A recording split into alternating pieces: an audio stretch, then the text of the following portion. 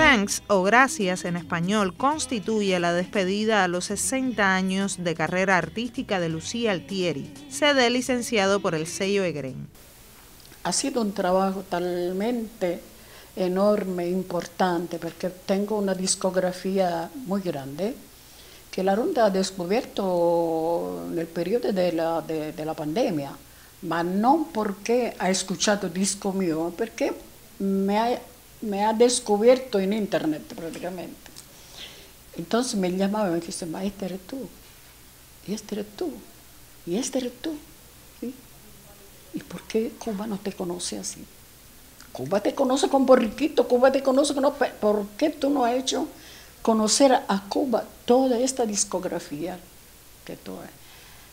Que verdaderamente cuando he venido aquí he cambiado totalmente, ya no me interesaba de Lucía Altieri como también, sí me interesaba un poco, eh, porque e, era la cantante que tenía que, hacerlo, pero lo que me interesaba más es lo que he dicho antes, promover la música cubana. La cantante italiana, quien reside en Cuba hace 45 años, a través de 10 nuevos temas inéditos adaptados para esta versión, permite revisitar su trayectoria. Todo gracias a la producción y remasterización del cantante y productor Laronte, su compañero de vida y trabajo. Según se informó en conferencia de prensa, todos los temas del disco son en italiano, a excepción de uno entre mil, dúo de Lucía y Laronte en español.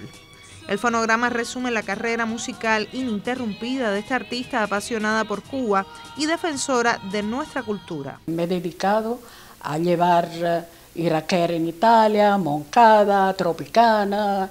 Eh, esto, esto me realizaba. Yo me sentía eh, más importante que una cantante. Me sentía que, podía, que estaba haciendo algo para hacer conocer al mundo la gran cultura cubana que en Italia era desconocido completamente.